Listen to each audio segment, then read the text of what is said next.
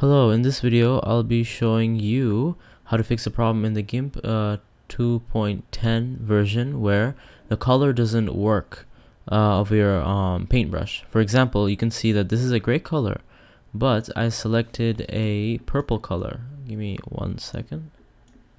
There you go.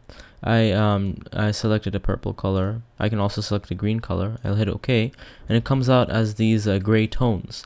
Now to fix this, all you need to do is you go to the image over here over here and then you go down um, you go down to let's see mode. You see the mode? Go ahead and switch that index uh, option to the RGB option.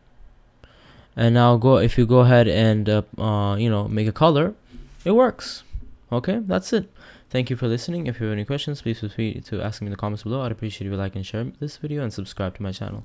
Bye